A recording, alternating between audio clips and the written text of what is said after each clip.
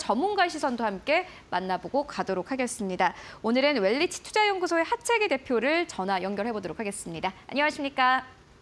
네, 안녕하세요. 하채기 대표입니다. 네, 대표님 오늘 시장에서 어떤 업종에 좀 관심을 가지고 계십니까? 어, 지금은 뭐 제가 3월 한 17일도 한번 말씀드렸지만 어, 네. 화장품 관련된 부분에 있어서 좀 관심을 계속해서 가져보자라는 말씀드립니다.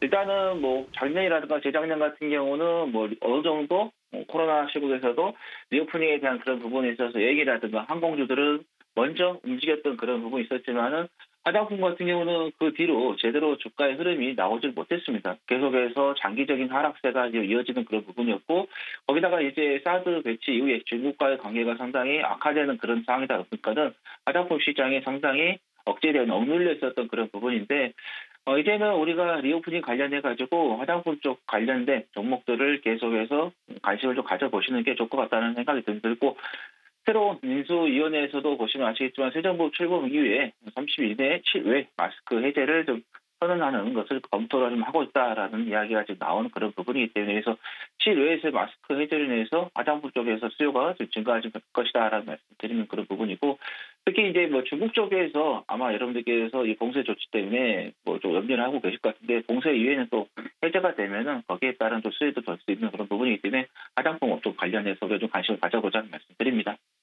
네, 그렇다면 그 안에서 좀, 좀 볼만한 종목이 있을까요? 네, 뭐 지난번에 제가 이제 코리아나를 한번 말씀드렸고 그 뒤로 지금 주가가 계속해서 우상향을 좀 유지를 하고 있는 음. 그런 흐름인데 지금에서는 이제 다른 종목 한국 화장품 제조도 우리가 좀 관심을 좀 가져보자는 말씀드립니다.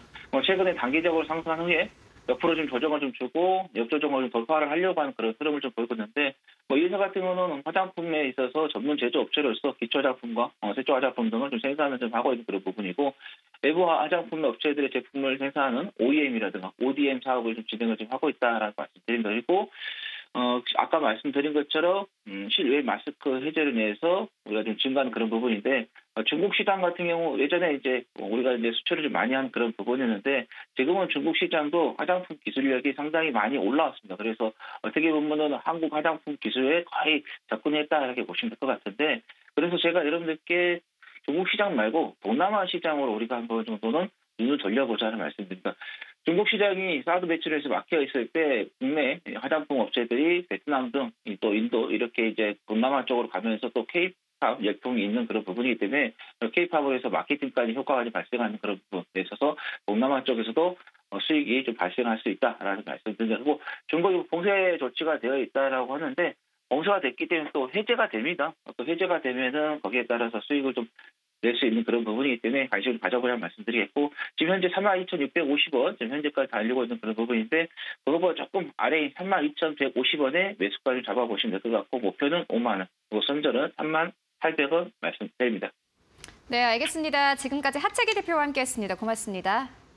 네, 감사합니다. 네, 하채기 대표님께서 굉장히 중요한 이야기를 해주셨네요. 사실 최근에 화장품주가 꽤 많이 올라가고는 있습니다만은 아모레퍼시픽의 실적에서 아시다시피 현재 중국 사업은 대부분의 화장품 업체들이 잘 현재 진행이 되지 않고 있는 상황입니다. 그런데 이 한국 화장품 제조 같은 경우에는 중국 시장이 아니라 동남아 시장을 겨냥하고 있는 기업이기 때문에 상당히 더 열려 있다라는 투자 의견까지 함께 전해주셨습니다.